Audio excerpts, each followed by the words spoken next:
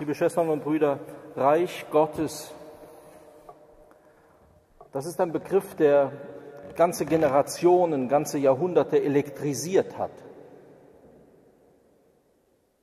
Solche, die meinten, man könne es herbeizwingen, manche, etwa im letzten Jahrhundert, man könne es herbeischreiben.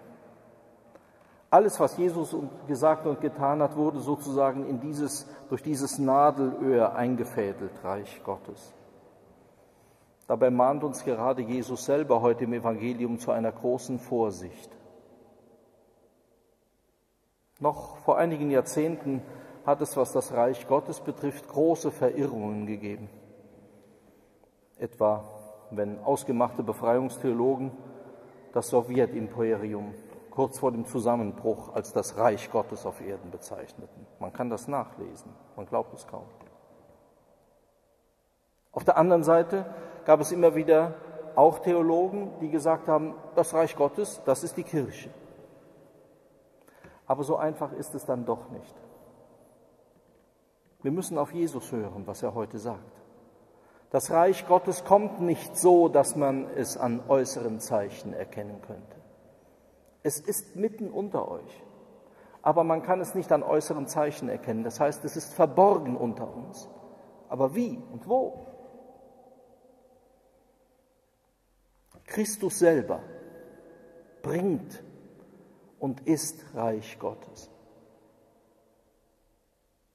Und die ganze Verborgenheit der Sakramente ist nicht nur ein Hinweis auf Reich Gottes, sondern Wirklichkeit des Reiches Gottes.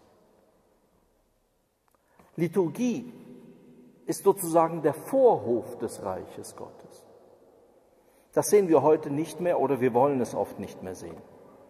Wir denken, das ist irgendetwas Elitäres, etwas Komisches und so weigern wir uns und werden auch unserer Aufgabe oft genug nicht gerecht, Menschen dort hineinzuziehen in dieses Leben, in diesen Vorhof, in die Liturgie, in das sakramentale Leben der Kirche weil wir denken, es gibt einen anderen Vorhof.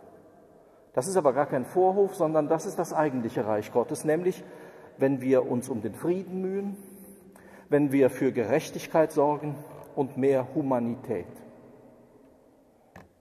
Wer wollte bestreiten, liebe Schwestern und Brüder, dass das gute Dinge sind, auch gut gemeinte Dinge sind? Das Problem ist nur, dass das Entscheidende oft hier fehlt weil wir dann in Konflikt kommen. Das Entscheidende ist Gott, ist Jesus Christus, wie der Name Reich Gottes schon sagt, und der, der es bringt, Jesus Christus. Da kann kein Weg dran vorbeiführen. Wir mogeln uns um diesen Konflikt herum und sagen, naja, wir bereiten schon mal dem Reich Gottes den Boden.